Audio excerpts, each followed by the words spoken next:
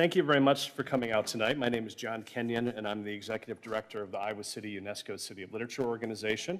And I would like to welcome you to the 2021 Iowa City Book Festival. Thanks to those of, uh, of you who are joining us here in the room at the Iowa City Public Library, as well as to those who are uh, slowly migrating their way over to YouTube to watch us there. Uh, the event will also be recorded, so we'll be sharing uh, the link out tomorrow uh, for folks who were not able to catch it today. So I wanted to start by just thanking our sponsors, without whom uh, all that we do would not be possible. Uh, we have support coming from the City of Iowa City, from the University of Iowa, and from Iowa Public Radio. We also uh, want to thank our partners who help us to put on these events, uh, particularly the Iowa City Public Library, uh, where we hold many of our events.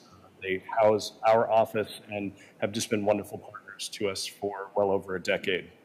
Uh, we also would like to thank our friends at Prairie Lights. We have our friend Kathleen in the back who uh, has books from our authors, and she would be happy to sell those. The more you buy, the less she has to take back to the store, so I'm sure she would love that. Um, and of course, I would like to thank our programming partners. And we uh, have had some wonderful partners over the years and continuing this year.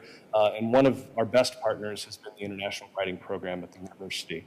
Uh, from the very beginning of the festival, we have worked with the IWP on programming, uh, and not just on programming, but uh, Chris and Hugh and Natasha and the entire team there have just been instrumental in helping us uh, to be a better organization and to really strengthen our ties internationally. So thanks to all of you.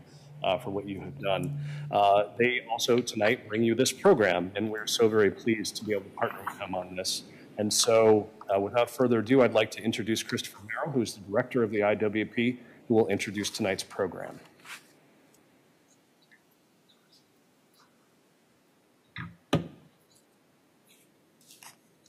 Thank you, John. Uh, I must say, all thanks to John, who makes the Iowa City Book Festival such a magical event year after year. And tonight is a special event in the sense that it not only brings together one of our current fall residents, Habib Tengour, about whom more in a moment, but it brings back to IWP our very first uh, participant from Luxembourg, Pierre Joris. Uh, Pierre and I have known each other for quite some time, uh, and it was Pierre who introduced me to Habib's work and uh, made possible this conversation about writing, about uh, translation, but most saliently about uh, the thematic poetics, ways in which travelers give us a larger sense of the world. Habib Tengour is a poet, essayist, playwright, translator, scholar, and editor from Algeria. He has published more than 20 books, including his recent volume of poetry, Empetekali Sandal. I knew I would get that screwed up.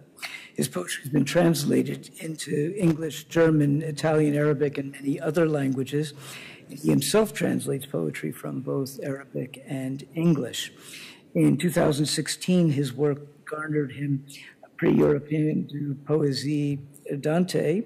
He directs the series Poème du Monde, Poems of the World, for the Algerian publisher APIC and his participation in the IWP's fall residency has been made possible by the Paul and Hualing Engle Memorial Fund.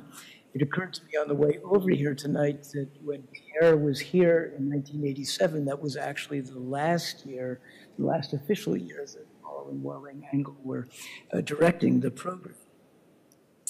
Uh, he is, as his friend, colleague, translator Pierre Joris observes in his introduction to Exile is My Trade, a Habib Tengour reader, and as John noted, copies of, the, of which are available in the back. One of the Maghreb's most forceful and visionary poetic voices of the post-colonial era.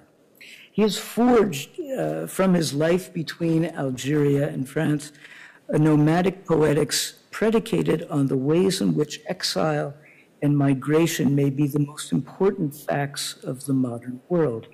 The first line of his very first book, published uh, half a century ago, is My name is Ulysses. I am 22. I study sociology because I flunked law. And the Republic of Letters is all the richer for it. Join me in welcoming Habib Tengour.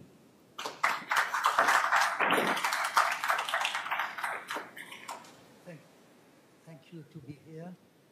So, and I'm very happy to be here with my friend because we knew each other for a long time. We met, uh, I think, in 76 in Algeria, in Constantine. Uh, Pierre teaches uh, English literature, and I was in uh, sociology department. And so our friendship began those years. And after that, yeah, uh, with Pierre, we had the, the, the, same, you know, we, we liked the same poets and uh, American poets and North African poets. And uh, he initiated me to translation because he, he said, no, you have, you want to, you have to translate. It's very important. And I say, well, but I don't know. Try. And yeah, it was really good thing.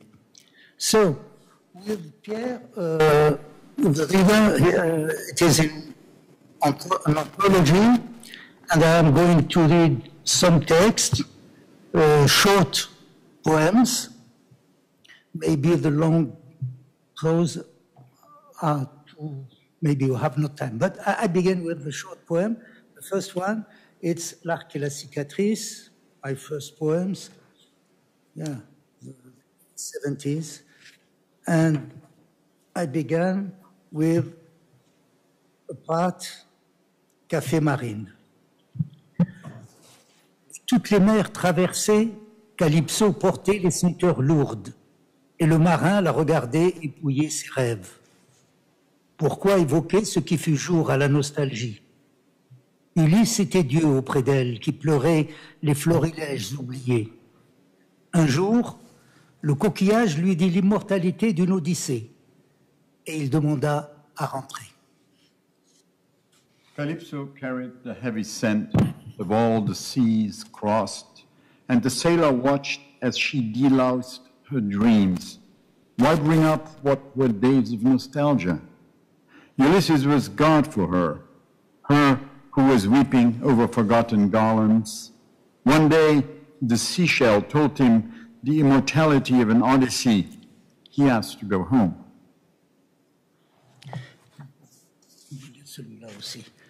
C'est dans un bar sans avenir qu'Ulysse engage ses compagnons à la rupture lourde de désir. Il commande la première tournée et ils burent jusqu'à la fermeture. Ils se réveillèrent des jours amers au tragique tissage du conte où l'enchantement quotidien se révèle inutile à saisir la mélancolie innée des cercles. À la barre, Ulysse exhortait l'équipage à lester ses rêves au bleu hasardeux, en finir avec la servitude du petit déjeuner. It's in the no future bar that Ulysses gets his companions to commit to the break heavy with desire. He orders the first round and they drank until closing time. They woke up bitter days at the tragic weaving of the tale where daily enchantment reveals itself useless at grasping the innate melancholy of circles. At the helm, Ulysses exhorted the crew to ballast their dreams to the hazardous blue, have done with servitude of. Je vous comblerai le regard, dit Ulysse à ses compagnons, et vous verrez. On courbera la lune à polir le tremblement des lèvres, à l'émerveillement du miel de lavande, et le spectacle enfantin de découverte à renommer dans le midi salé de nos doigts. Loin de la peine qui creuse le regard agile à se lier, loin de mourir, qu'attendre du voyage, disent les compagnons. Et vingt années plus tard, Ulysse rentrait seul. Il se dirigea vers le café de la marine et, après avoir payé à boire à tout le monde, je vous comblerai le regard, dit-il. I'll gratify your gaze, Ulysses tells his companions, and you'll see we bend down the moon to polish the lips trembling with the wonder of lavender honey. and the childish spectacle of discoveries to be renamed in our fingers' salty noon. Far from the hurt that hollows the gaze nimble at connecting, far from dying, what to expect from the journey, the companions ask. And 20 years later, Ulysses came home alone. He went straight to the Café de la Marine, and after paying for drinks all around, I'll gratify your gaze, he says. Another part of the book, Chaume-nous étole. Rayures, reste calciné, demeure vide de rêve. Tu épuisas le regard, de toutes les places désignées, mourir le chemin. Comme la corde terrée, comme le galop qui a perdu la cadence, comme la hardiesse de l'eau, ou la halte redoutée, oubli des premiers pas. Que d'attentes dans nos vies, là, sèche une vigne au soleil blanc, là, mon corps s'était cassé au sol, que d'envie dans l'attente aimée. Les jours imagine le sable déserté, parade. Grooves, calcinated remains, dwelling emptied of dreams. You exhausted the gaze of all the designated spaces to die the path, like the rope gone to earth, like the gallop that has lost its cadence, like the boldness of dawn, where the feared halt, oblivion of first steps. How many lulls in our lives? Over there, a vine dries in the white sun. Over there, my body had shattered on the ground. So much desire, the well loved, well. The bees deserted, parade. Mire offerte, sceptre déposé au jour qui se lève nu, tremblante rencontre. Nos vies se sont croisées pour se perdre à jamais. Pleurer le lieu aujourd'hui, mémoire mutilée. La peine maîtrise les mots. Tu te présentes avec une histoire rapiécée, une âme jaunie par le temps. Quel espoir tiens-tu dans le propos égaré? À l'approche du soir, j'ai entendu les larmes et nos vies se sont regardées. Longtemps, la plaie suspendue comme un blâme. Offered myrrh, scepter laid down to the day that rises naked, trembling encounter. Our lives cross to lose themselves forever, to weep over the place today, mutilated memory. The pain masters the words. You present yourself with a patched up story, a soul yellowed by time. What hope do you hold in the words gone awry? As evening closed in, I heard the tears. Our lives looked at each other. For a long time, the wound suspended like a reprimand. Auteur jaspé, tu contemples le crépuscule au sortir d'un drame, miroir sans résonance, dénuement des effets. Ta vie heurte l'autre rive, ton âme hypothéquée. Tu dis, je n'ai pas voulu cela, mon visage, et tu dis, le destin sous le masque, une promesse arrachée. Elle, soucieuse, te regarde, et regarde, et te regarde. Regarde-toi. Au sortir d'un drame, miroir sans résonance. Marbled height. You contemplate sunset at the close of a crisis. Mirror with no resonance, destitution of effects. Your life collides with the other shore, your mortgaged soul. You say, I didn't want that, my face. And you say, fate on that mask, a snatched promise. She, worried, looks at you and looks and looks. Look at yourself. At the close of a crisis, mirror with no resonance. And uh, the second collection, Gravité de l'ange, some short poem also. Riva, uh, the part is le radeau de la mémoire. Rivage. Tu scrutes sur le sable humecté, lumière et sel ensommeillés. Tu souris.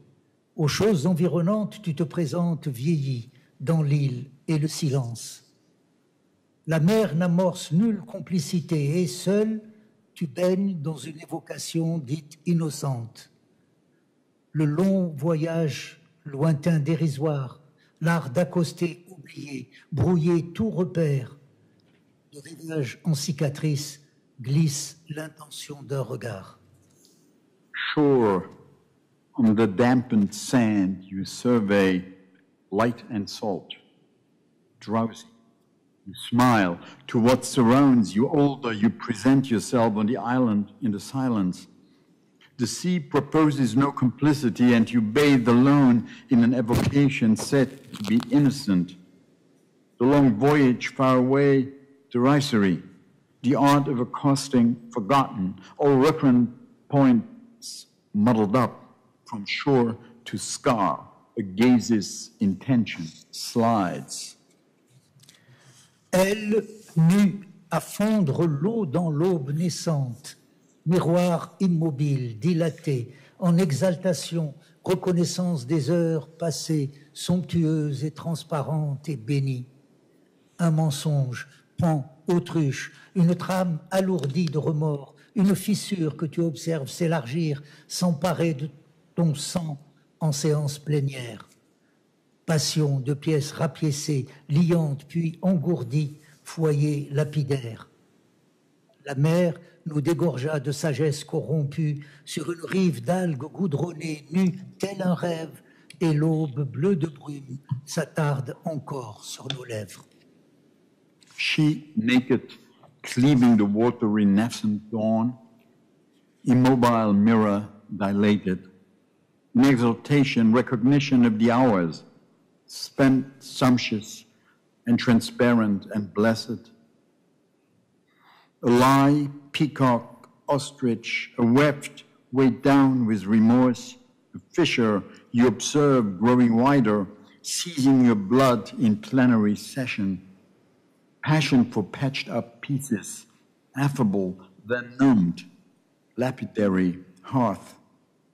The sea disgorged us of corrupt wisdom on a shore of tarred algae, naked as in a dream, and pre-dawn of fog still lingers on our lips. Brusquement, rien. Et tu réapparais, ordonne de revivre au-delà.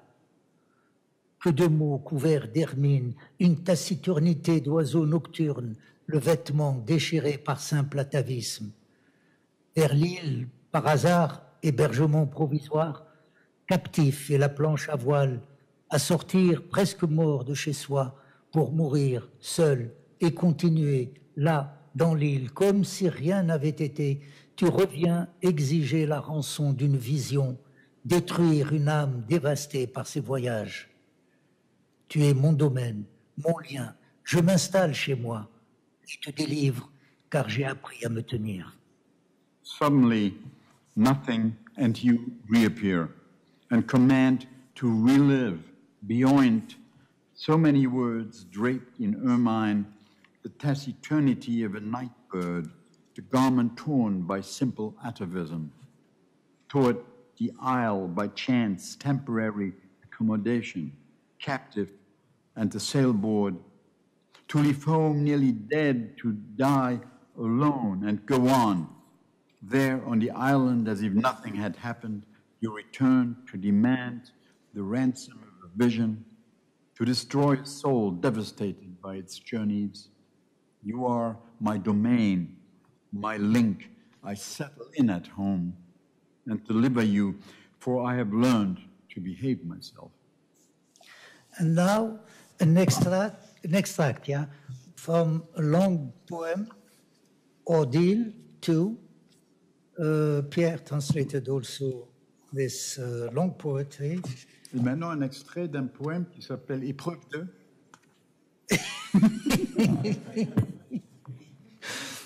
Un un, ensemble, euh, pardon, un semblant d'ordre régnait, mais la confusion s'installait dans notre dos. Quelqu'un agita la chemise froissée, pleine de taches rouges, devant une foule médusée. Il a évoqué l'âge et les mérites du défunt, rappelé la légitimité du lignage, requis le prix du sang. La catastrophe était inévitable. Elle disait Ne suis-je pas votre mère à tous? Comment pourrais-je privilégier un seul clan? Mes yeux pleins d'affliction vous couvrent d'un même amour. Je ne cherche pas à vous induire en erreur. Je sais la révolte aujourd'hui salutaire. Il disait C'est bien vous que j'ai choisi pour me venir en aide. Pour vous, j'entame un deuxième exil, mais l'effort exigé vous semble trop lourd. Savez-vous au moins ce que c'est qu'une attache? Le chemin que l'amant parcourt dans le désert à chercher un regard de celle qui se dérobe. Comme je plains vos cœurs sourds à ma sollicitude. Le jour s'est obscurci comme envahi par une nuée de sauterelles ou le vent de sable des confins de Hejaz. La température s'est alourdie. Ce n'était pas un phénomène rare dans pareil endroit. Il n'y eut pas de grande panique j'ai seulement entendu une plainte. Qui défendra Koufa quand les gens de Koufa seront tous massacrés? Qui défendra Basra lorsque ceux de Basra seront exterminés et les guerriers d'Égypte que l'inquiétude ronge? Qui leur rendra la paix pour ouvrir le couchant Et ce qui reste d'aide, d'exilés à Médine, de seigneurs du Yémen ou de Bahreïn après la défaite du chameau, qui les réunira? Il disait J'ai toujours tué ceux que j'aimais. J'avoue avoir joui avec férocité, mais aujourd'hui, je m'en veux de ma précipitation. Je voulais te raconter une histoire, histoire de parler, de passer le temps, sans histoire, sans arrière-pensée, ni sous-entendu, sans souci du sens que les mots prennent quand on n'y prend pas garde, juste pour entendre dire, comme bercer ou fredonner, ou simplement se couler dans la courbure de l'air pour n'avoir pas aussi à me glisser dans la trame serrée d'un récit. Crois bien que j'ai raté mon coup, la guerre est bien là, et les prémices de la discorde consignées dans des ouvrages qui ont défié les censures, à moins que ça ne soit une histoire à répétition, celle de l'éternel retour des désirs inavouables. Il n'a pas su dire exactement ce qu'il avait en tête, peur de se tromper de mots, comme si la parole restait rivée au lexique. En fait, il ne savait pas vraiment comment accrocher ton attention pour t'entraîner dans les méandres d'une histoire qui le taraudait depuis longtemps, l'empêchant d'accomplir son travail journalier et de dormir.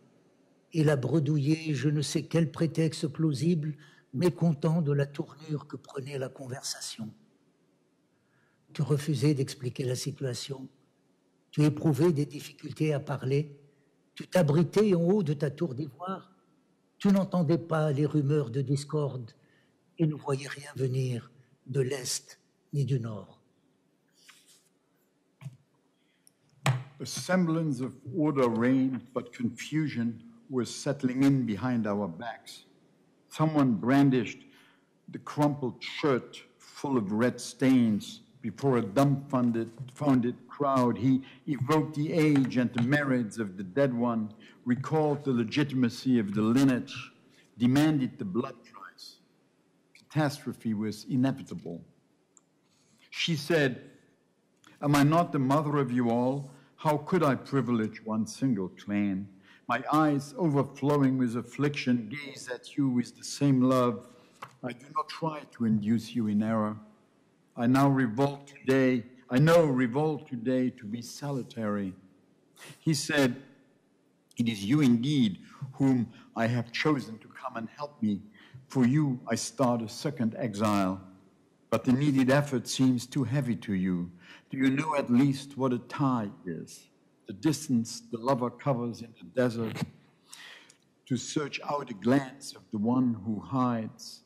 How I pity your hearts, deaf to my solicitude. The day grew dark as if invaded by a cloud of locust or a sandstorm from the confines of the Hejaz. The temperature became heavier This was not a rare phenomenon in such a place. There was no great panic. I only heard one complaint.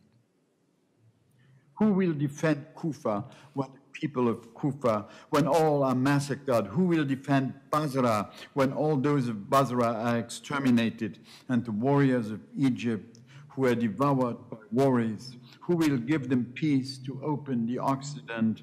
And what remains of aides and exiles in Medina, of lords of Yemen and of Bahrain after the defeat of the camel that will unite them? He said, I have always killed those I loved. I confess to have found a ferocious pleasure in it. But today my haste makes me angry at myself. I wanted to tell you a story in a way of talking, of spending time without worry, without reservation, nor innuendo, without worrying about the meaning words take on when you don't take care just to hear, say, like rocking or humming or simply slip into air's curvature so as not to have also to insert myself into the tight woof of the narrative. I do believe I screwed up the war is here indeed, and the premises of the discord are recorded in books that have defied various censorships, unless the story is a story of repetition, namely the one of the eternal return of unavowable desires. He did not know how exactly to say what was on his mind fear of picking the wrong words as if speech remained stuck to the vocabulary.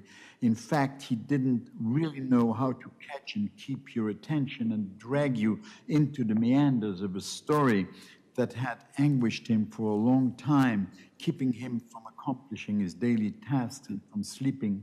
He stuttered, I know not what plausible pretext, discontent with the direction the conversation was taking. You refused to explain the situation. You had difficulties talking. You took shelter at the top of the ivory tower. You didn't hear the rumors of discord and saw nothing coming from the east or from the north. Stopper ou on continue YouTube Bonjour. Ah non, non, oui, on reprend, on reprend après. Ok, on va voir.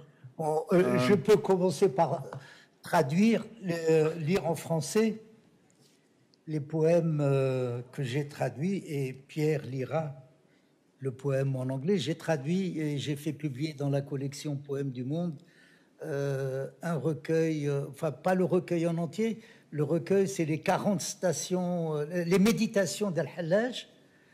Il y a 40 stations et là j'en ai traduit 20. Ah, ah, ah. You know, the book. For, It's okay. No, no, it's, it's okay. okay. It's, It's um, okay. A book Habib translated. You'll read a It's about of. Hallaj is a Sufi a mystic in Islam and uh, a very well-known mystic. He was crucified because uh, he was considered uh, as an heretic. Ana al-Haq. Yeah. Manners, adab, adab, Ah, manière. oui.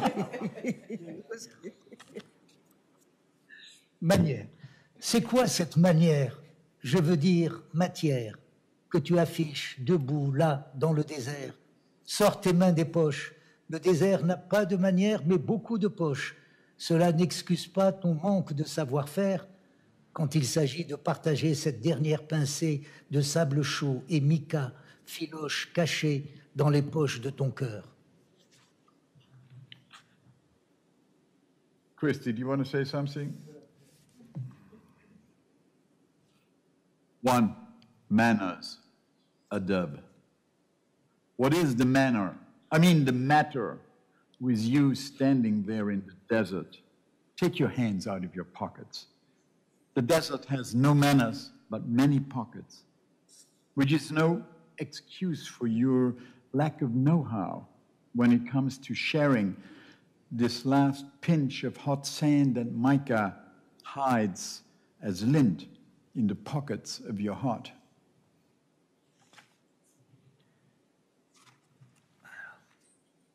Crainte, Rahab. La crainte est dans l'ébahissement quand tu le vois. Il t'effraie là où il est le non visible, dont tu sembles vouloir prendre soin, quand bien même cela te lacère d'affronter la crainte qui n'est pas dans la chose, ni la chose même, mais entre les deux. Il est la relation, un nous possible.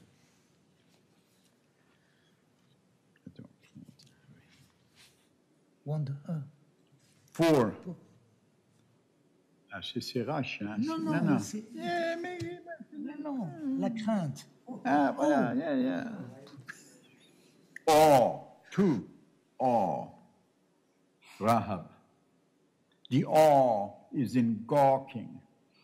When you see it, it scares you.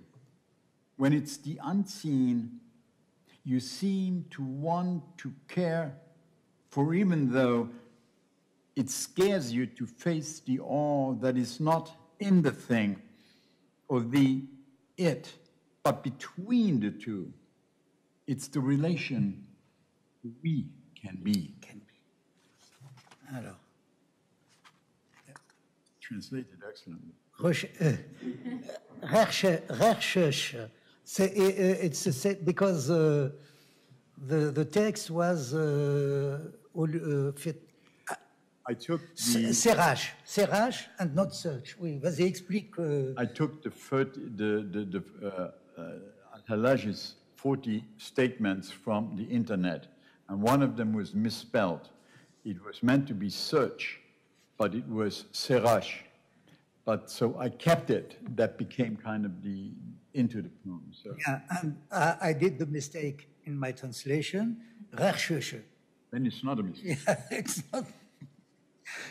Il y a confusion à l'intérieur d'une époque.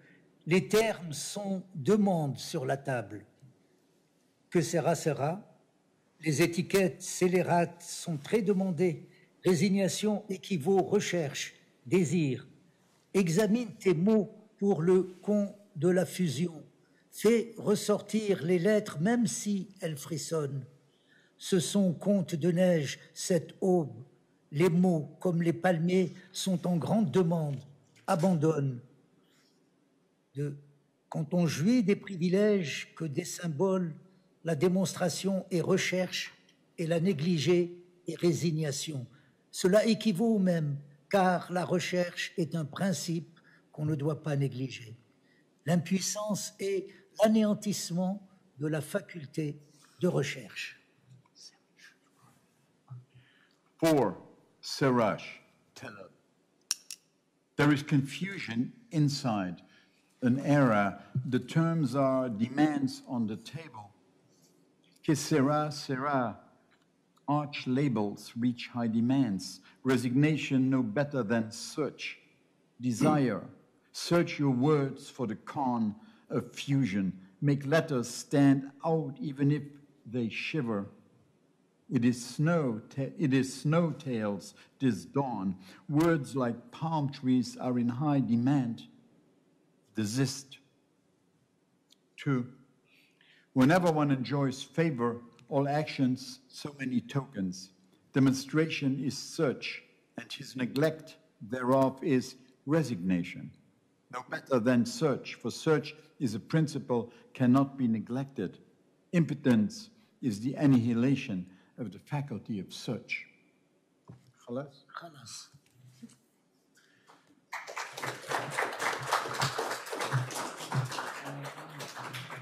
You want to do a little intro uh, as a remark? Okay.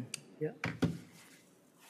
And before the introduction, just wanted to uh, say that um, we'll have a Q&A afterwards. And for those watching from home, feel free to drop questions into the chat. Uh, I think we can read them on both Zoom and YouTube, but I'm hoping everybody is on YouTube now. As I said, Pierre Joris, who was in the IWP in 1987, has since moved between Europe, the US, and North Africa, publishing more than 80 books of poetry, essays, translations, and anthologies, including Fox Trails, tales, and trots, poems, and proses. The last volume, this is just in the last four years, the last volume of his translations of Paul Celan, Memory Rose, into Threshold Speech, a 53 or 54 year long engagement with, uh, that most uh, enigmatic and important German poet, a book of essays, uh, Not So Deserta, and Conversations in the Pyrenees with the Syrian poet Adonis, all in the last three years, as I said. He and Habib co edited the indispensable University California Book of North African Literature. That's the fourth volume in the Poems for the Millennium series. And when he's not on the road, he lives in Bay Ridge, Brooklyn, with his wife, the performance artist Nicole Peyrafitte, with whom he published in 2017 the Book of You.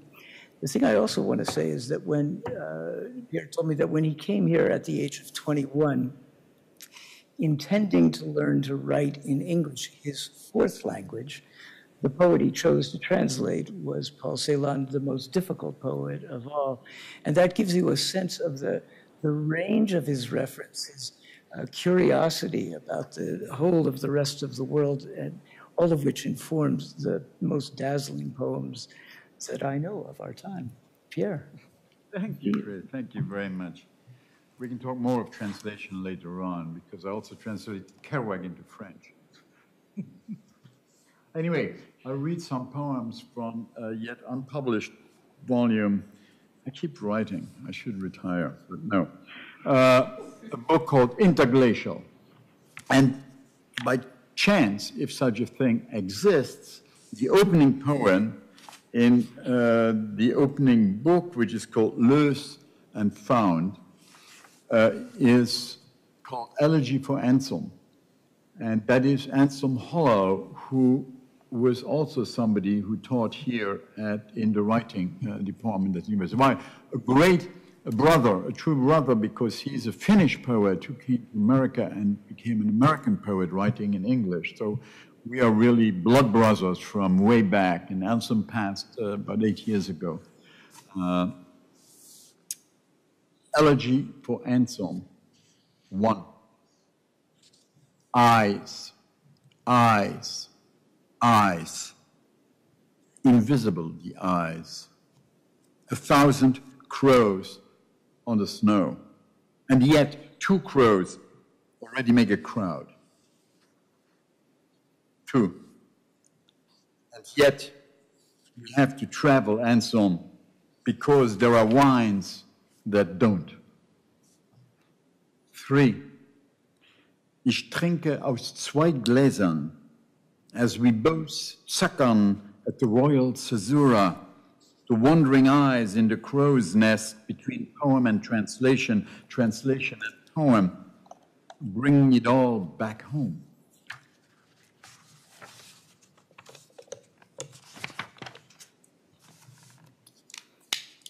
Uh, a bit further on, that feeling you can't go on it alone. The vagrant, vagabond, give me a V sign, double it to go wandering. Leave the medulla, slip between pyramid and peduncle. The letters go backwards, from jugular to carotid, down, down, afferent all the way, to count the schlup, the schlep of viscera, lets you know how your gut gets its gut feeling. In praise of aging. The older you get, the taller you get. As you stand on the shoulders of your accumulating years, you see farther each passing year. Just don't turn around. Don't try to wash your ass. Don't fall down.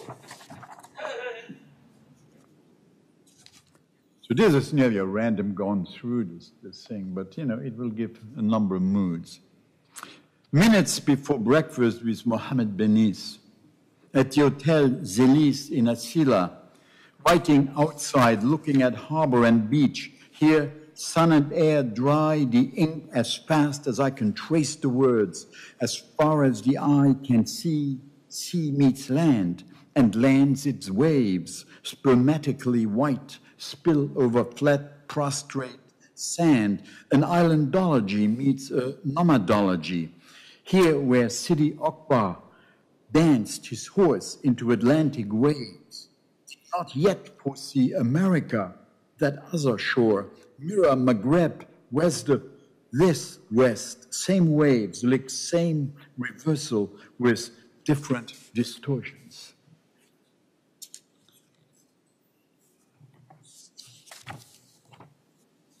Mohammed wrote from Paris last week. He's in Paris right now.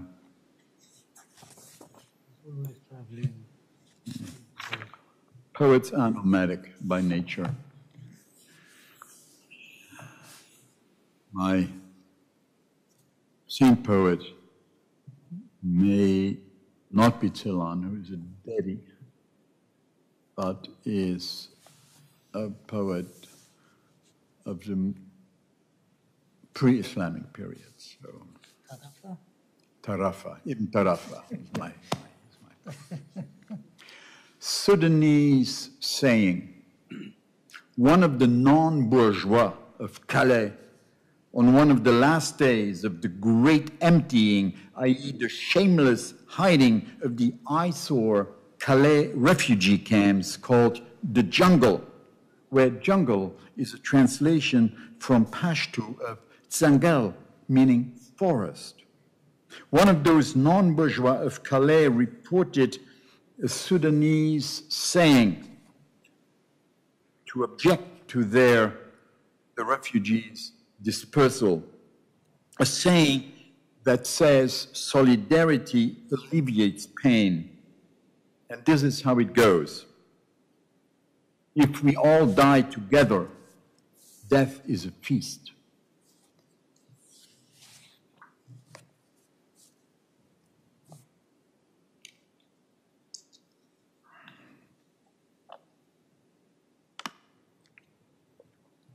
Refugees have been dispersed, but there are camps still around Calais. There are, you know, people.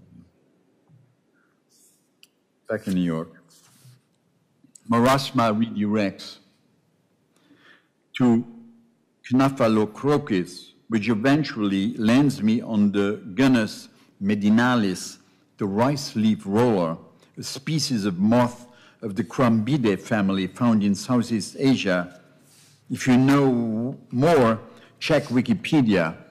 I'm sending you there as I have to go out now to make sure the blue of the sky is still holding up those beech trees and the others whose names I don't know, and who may therefore be standing up on their own or possibly under different names, as it is only what we can name that we can knock down. Why do you think those people painted all those animals in the caves of prehistory? It was a school, not a pit or shaft.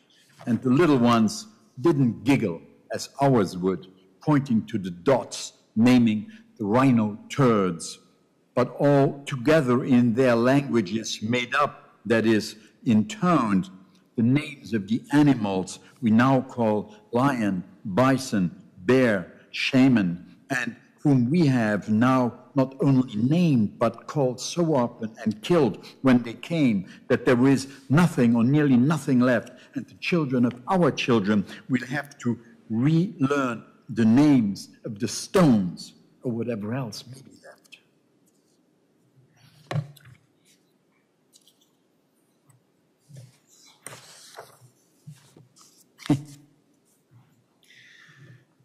In the dog days of summer, three of them.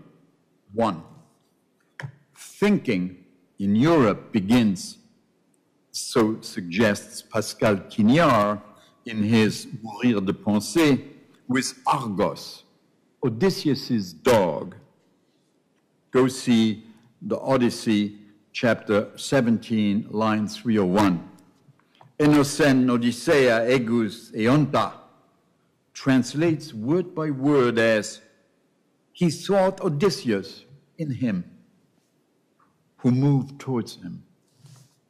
Two, which makes me think on lines by Habib Tengour, I translated a dog's age ago, and which read, Homer will say that nobody recognized him, Ulysses, except the old dog. But dogs don't live long enough to recognize their masters. Three, riding the subway this morning, this a baseball cap on the N train in dog years dead, in red on pink cap of a very alive Indian lady in her 30s. A little manifesto. I like my manifestos very short. The poet's job. Pick up everything that shines. Discard the gold. Keep the light.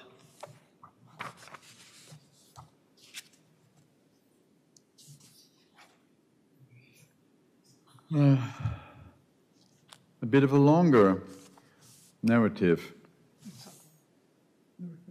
We're doing good? We're doing good? Okay, okay.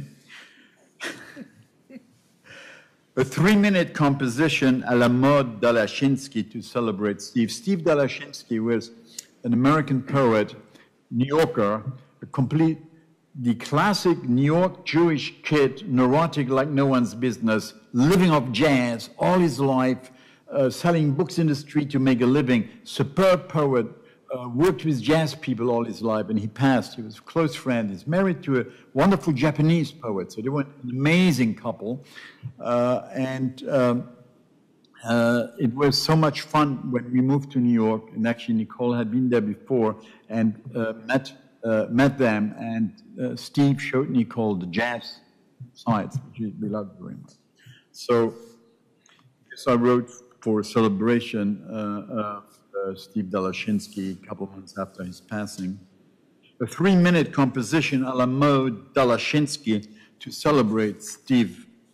And when I crossed the street, St. Mark's, it was from Puerto Rico imports to the northeast corner of uh, 2nd and St. Mark's, I thought I should go sit on the terrace of the Dallas barbecue to write this poem to you, Steve-O, to celebrate your days and nights in New York as New York, as incarnation, as New York is incarnation, uh, or you are incarnation of, to celebrate your days and nights, that is your life here. As I remember an occasion when I crossed this street, St. Mark's, where by all rights I should have run into you back when, 69, 70, 71, but didn't. Or we did, but didn't know who we were, too stoned maybe to look out stuck inside not only the big city, but our own young selves, selvas oscuras, if you permit me to quote that obscure Italian Dante in the East Village psycho delicatessens jungle, undergrowth and ground.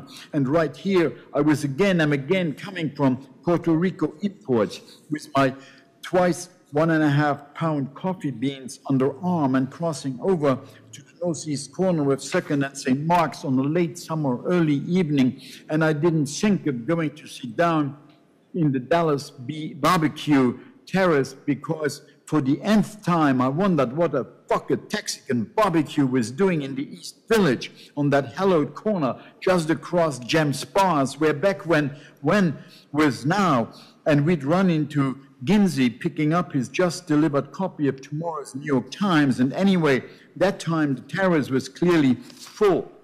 No place for me, every chair taken, and on two of them around a small table laden with food, there was you and Yuko, absorbed and digging in with visible pleasure, so neither sun nor hunger nor napkin could wipe away that slight smirk of skepticism played around your mouth from birth you hadn't seen me yet, so I took out my phone, shifted coffee bags on the left arm, and snapped you and Yuko eating. See, here is the photo. I'm not making this up. Then you saw and said, Hi, Bob. And I said, Steve-O, Jolly-O got to boogie to a reading. You said, go man, go, say hello to the lady. Maybe I'll see you later. Have, have two other gigs I need to catch first. And when I crossed that street again in the first line of this poem, my friend, it was cold and wintry, and all the tables and chairs were empty. I thought of sitting down to write this poem, but there was no music to cut the cold. And so I moseyed on till nights later. I mean, like tonight, I came kind of natural, took out pen and notebook, just as Joel and Faye started to play here at the Zürcher with Yuko a few chairs away and Nicole sketching in the back and you not quetching by my side, but here, yes, here, here to hear, here to be here, that music, here, lend me your ear, Stevo, Stevo, Dalla, Dalla, Mensch, I miss you so.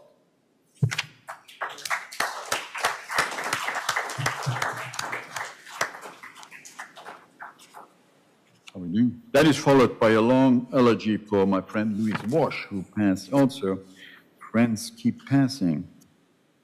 During a Zoom reading by Jerome Rothenberg, 2,000 run of the mill Buddhas tread water. There, were, there are no mirrors anywhere in the world, only others. In several parts, the whole is and is not. The whole is and is not in separate parts. In acts of cruelty, the present is miscarried again and again. Time, you say, is a bullfight.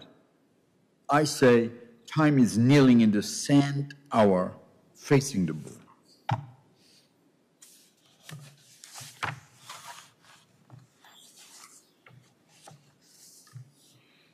So in the last dream, Derrida comes down the majestic red carpeted staircase just before day breaks, and with a large smile and, and an even more expansive wave of his left arm, the other rests on the baluster, gives the order for the gerrymandering to begin or to end. I can't be sure now this, how this one links to the long black and white dream just before only a quick piece separates them, in which I talk lengthily to various politicians and a few pundits, me included, it seems, about the evil of gerrymandering, and we are all absolutely certain, as certain as one can only be in a dream, that our lives depend on ending that terrifying trend. And now that I woke up for good, I would really like to go back into the last one and ask Jacques if his gesture meant to begin or to end what the dream proposed but I can't. I can't. The sun has risen behind me where I can't see it, but I do see its reflection in front of me, reddening the East Coast build-up west of here and on Staten Island just across the Verrazano Straits. It's quieter today, these waters, not half as roiled as yesterday, or as my dreams made me. Thank you.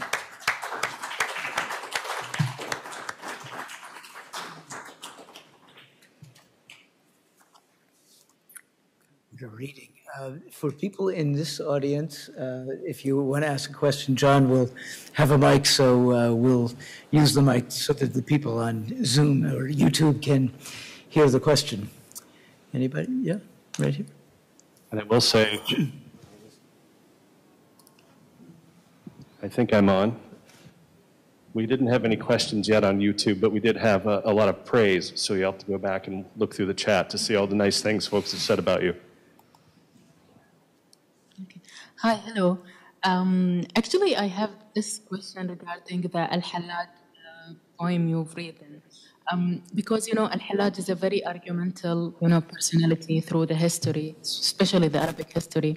And I feel that because he killed, because before, like, he completing what he was wanting to say to the end, uh, he's been an aspirational personality for a lot of people um, to write what he wanted to say.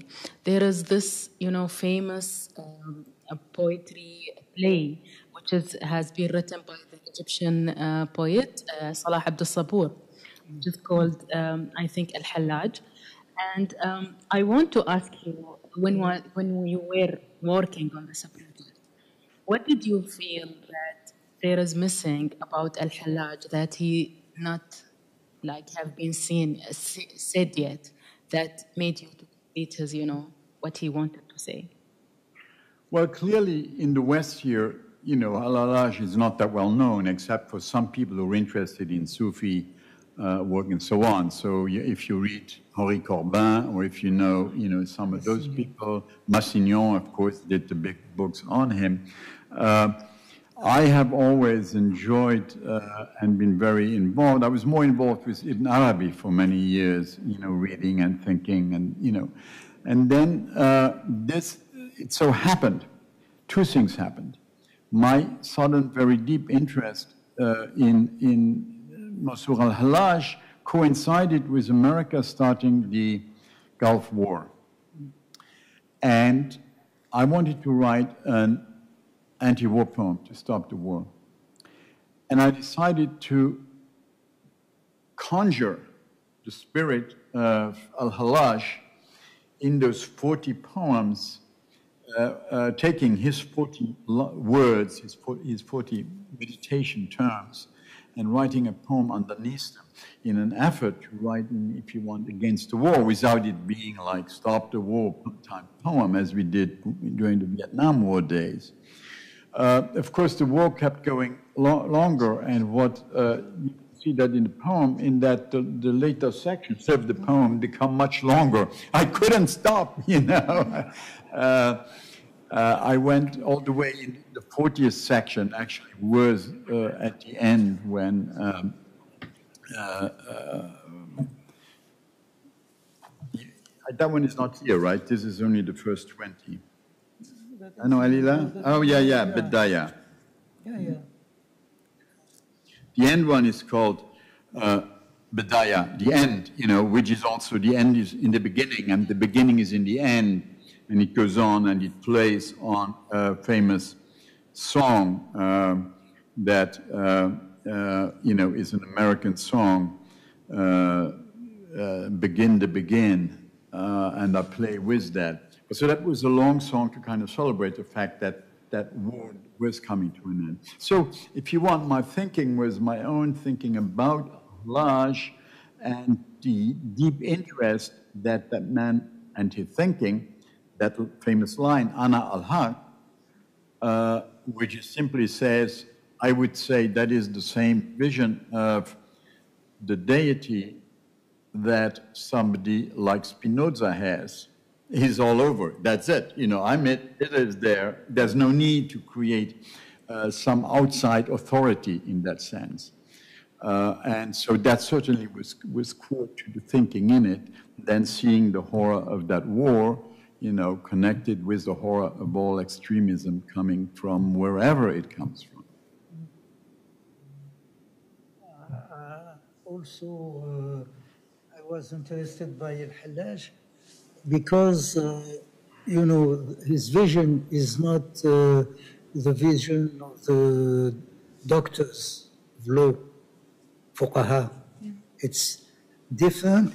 And what interests me is his poetry he has a very strong poetry with images, interesting images. And uh, when I was young, I, I don't knew uh, Al-Hallaj. I knew only uh, popular mystic in Algeria. I, I, grew up in a city with uh, many, many uh, saints and many uh, Sufi, but popular and also their poetry was a popular poetry, not uh, the classical one of Bistami, Al-Hallaj.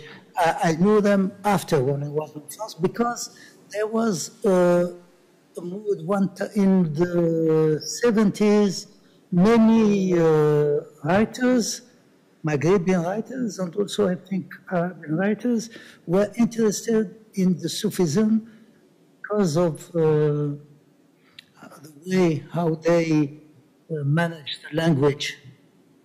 Tawasin, Tawasin al-Hallaj is very interesting to read and very complicated. You, you can't understand without illumination. And it is how to, to read the words and how to be illuminated by the word, which is interesting.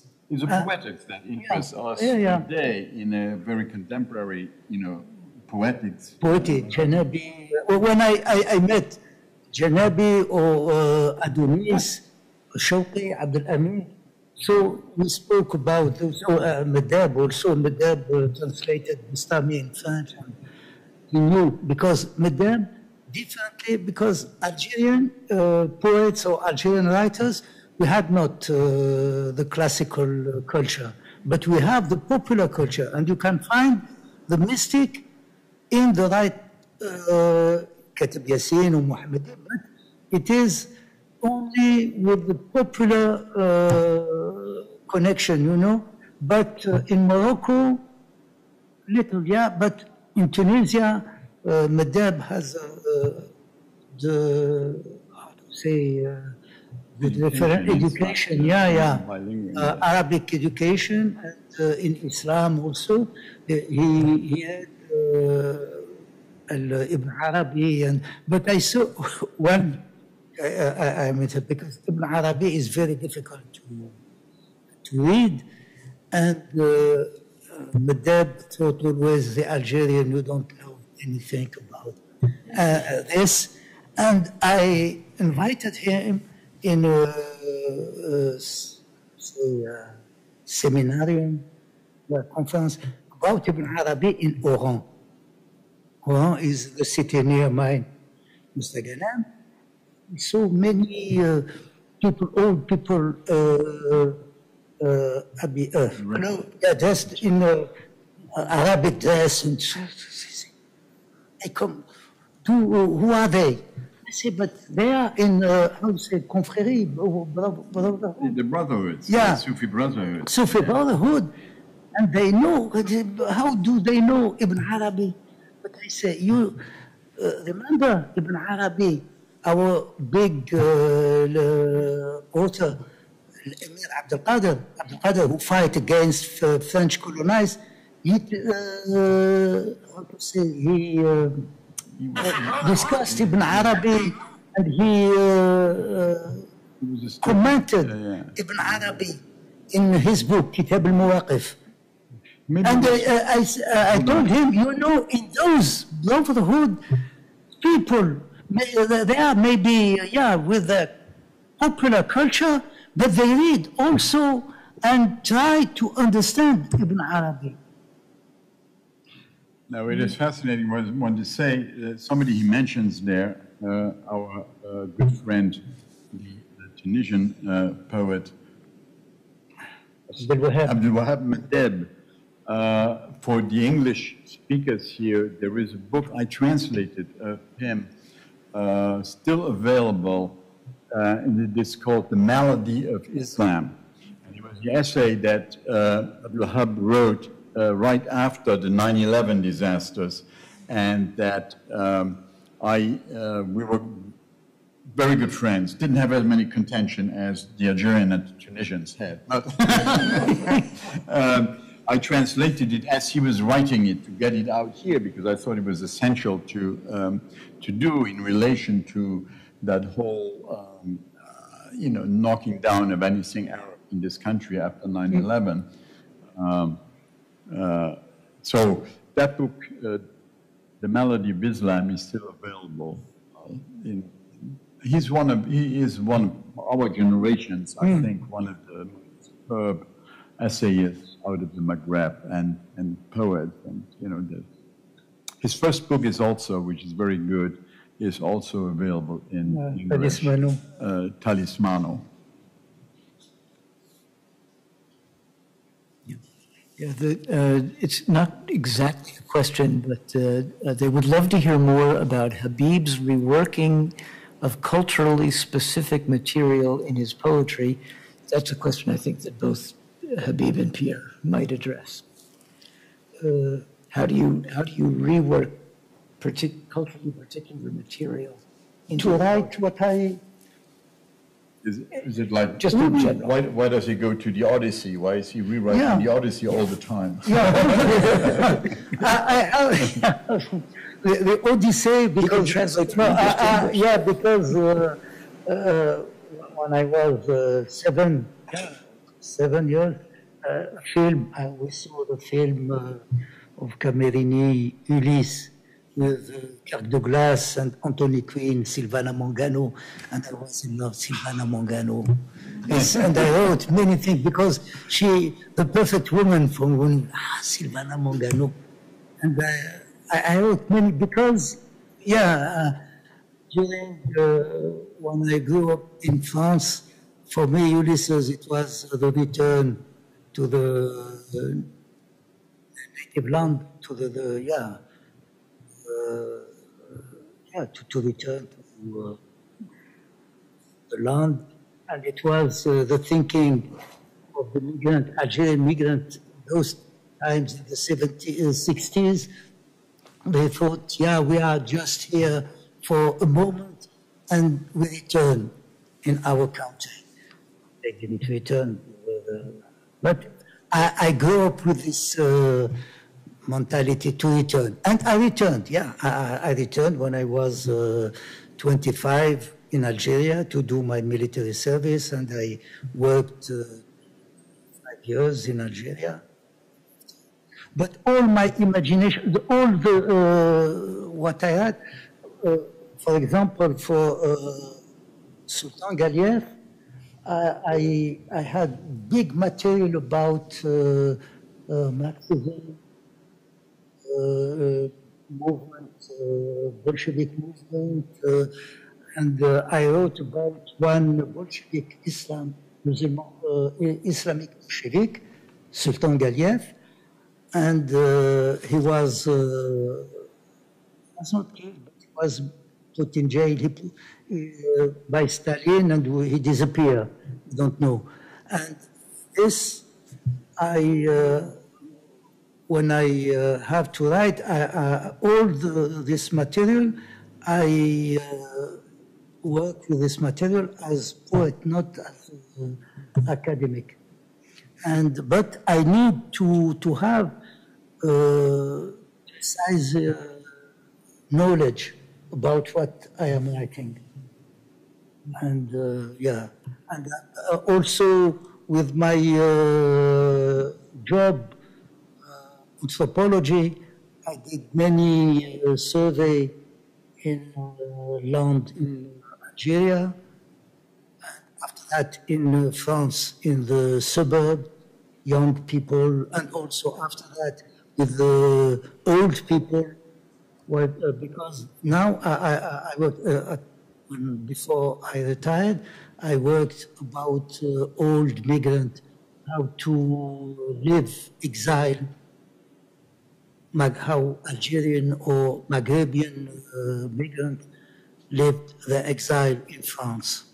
It's beautiful book. Yeah, you and I wrote uh, long poetry, and I worked with a photographer, and we did uh, a book on this. But uh, besides that, I also uh, wrote, uh, but just how to say, paper paper for academic papers. No, academic uh, essays and so on on that, on that material. Because I was uh, in the university. Yeah. It was your job. I can, yeah, I my job. I can do a little take, my take on, on, on Ulysses, because I have a slightly different take. I, I love that movie, too. It's, we saw, being the same age, I saw that movie as a kid, too. But in an essay I wrote, uh, it came out recently, I'm afraid all of a sudden that I, I, I dream of myself as a kind of modern, modern Odysseus returning to Ithaca.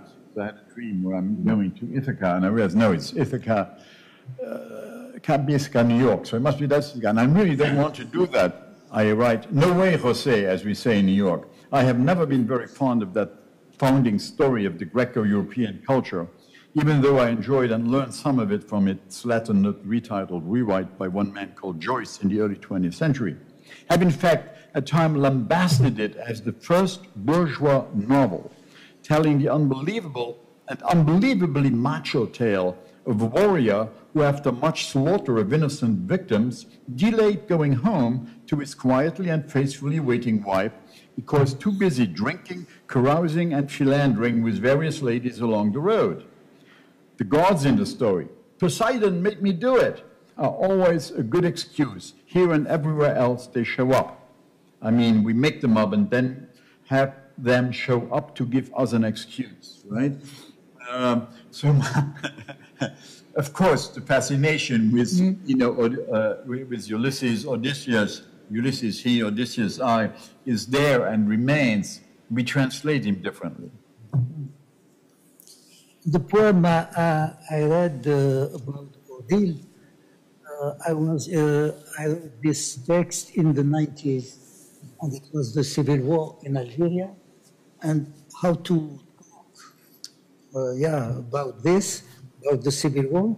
I I wrote, I was thinking about the moment after the death of the prophet and the third the fourth caliph Ali want to be caliph, and the third was killed by uh, Muslims, and they uh, say Ali is uh, the caliph.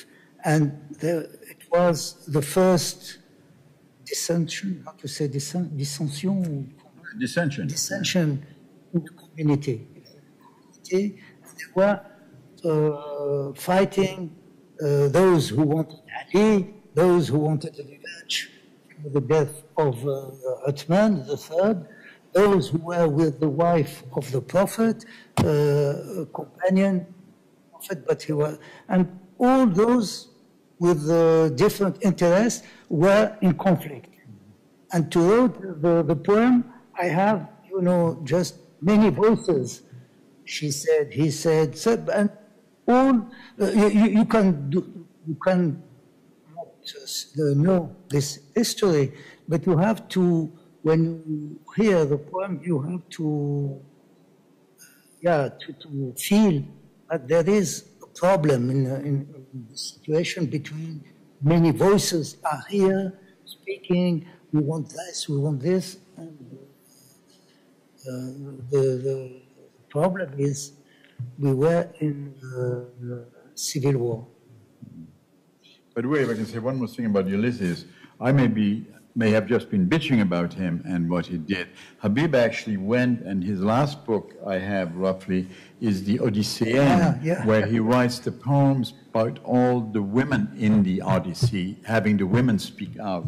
Uh, so mm. that's and yeah, it may be translated eventually. Always, yeah, your, your poetry is a man poetry. And I said, well, now Ulysses, Ulysses, I is not, I want the woman, Calypso, Penelope, Circe, and how they think, how they see uh, Odysseus, Ulysses. And uh, it is not, not a good image. But you've touched on translation, and I'm glad that Pierre uh, invoked Anselm Hollo. Uh, maybe the two of you could talk about the ways in which you're translating practices have informed your poetics and vice versa. How, how translation has shaped your lives. When I put up the little note of this reading on Facebook this morning, you know, added a line on top, I say, and we'll talk about writing as translation and translation as writing, in the mm-hmm. sense that more and more I find, and you may not contradict me or you may, that they're the same. You know, that translating and writing are the same because language already is a translation. Mm-hmm. So all writing is translation of some mode and order. And it is only if you claim that there is some absolute language, you know, and that then you translate from that, uh, and you couldn't translate into that anyway, as you know, uh, people do sometimes think of the Quran mm-hmm. or of holy books, you know, because they, they, they would be existing only in, you know, in that. No, all language is a translation, and therefore all language has to be translated further, and so on. Mm-hmm. Yeah, and also. Uh, when you translate, you have to understand the language of another, but you have also to find your language and how, with your language, how the translation uh, modif- modif- modifies, modifies your, your, your own language to be another language.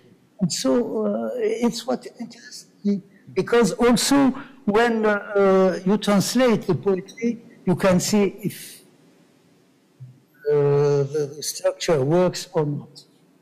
If it's a, a bad po- poem, it doesn't work. And so, if it's a good poem, you have to write it in your own language and to find maybe new words, maybe, and it's what uh, is interesting. And uh, what Pierre said, uh, it is new writing. Translating is new writing. And we all write with all these languages in our heads. You know, I mean, I can nearly hear in Habib's writing the Algerian Arabic underneath it that plays, you know, that, that, that, that is there. And I'm sure, you know, somewhere the, my Luxembourgish, Germanic, and French languages are, you know, somehow hearable. I sometimes bring it out very consciously in the writing so that I write, I bring other languages in. I always used to tell my students the easy way for me to go on in a poem when I'm stuck is to take a line in Luxembourgish and translate it literally, and that usually makes a pun, and then I can move on, you know, and it helps me move on. So that translation and writing, there, you know, they're simply the same process, and they keep, but the pleasure is the more languages you have, um, the better it is. And, you know, here there are a lot of people who have a number of languages. That old monocultural language thing uh, is uh, not global, by the way. Um, it, it, it was basically the old colonial powers who believed in mono, you know, in monolingual uh, absoluteness. You know, the French, of course, French language is, of course, the best language in the world. The English thought, well, yeah, the most powerful language, you know. And then the Spanish, they conquered the world, so they're Spanish. Those were the languages that were mo most resistant to notions of polylinguistic pr processes. And I used to tell my students at American universities, you know, I've never come across an African who didn't know four or five languages because that's how you taught, how you know you brought up with that. So that idea that one language holds it all or knows it all is simply not true. And when you know, I quit cre teaching creative writing and we teach translation instead, because that way I could tell the, my students, you see, you really think that the language adheres to objects and you try to get that into the poem so that that is right. If you work with different languages, you know that words do not adhere to objects that way. The objects escape, and therefore you have to work with words as the matter of the poem, not some fake relation of the word to the object, or you get wiser by knowing that, you know, uh, um, a tree, an arbre, you know, and is, is, they're not they're the same, they're not the same. So that, that, that you know, well, I ended with a French word there. that might be a wonderful place to stop. Uh, thank you, Pierre and Habib, for a, a really extraordinary evening. Thank you. Thank you. All right, before we let everyone go, I just wanted to thank all of you again for coming out tonight. Thank you for the International Writing Program and our two uh, wonderful uh, speakers this evening. Uh, we do have plenty of other things to uh, to come on the festival, but I won't keep you much longer to tell you all of those things. I will just let you know that if you are here in the room, we have schedules over here on the side that you can pick up that list all of the events we have going on. Uh, and if you are watching us from home, uh, IowaCityBookFestival.org has all of your schedule and information needs. I will say that the International Writing Program will be back in this room on Friday at noon for uh, their panel discussion. Uh, they have a series of those, and uh, they're gracious enough to let us call their Friday panel during the festival part of our festival. So we're very pleased about that. And I believe Habib is coming back for that. So um, there's more to come there. So again, thank you very much for being here. Our friends at Prairie Lights are in the back of the room. If you would like to uh, purchase uh, books from either of these gentlemen, and if you are watching at home, you can do so at the store or at uh, prairielights.com. So thank you again for coming, and enjoy the rest of your evening. If you buy the books, we're more than willing to sign them for you. Yes, of course. If you buy your books, you can bring them back up front, and they will be happy to sign. Thank you.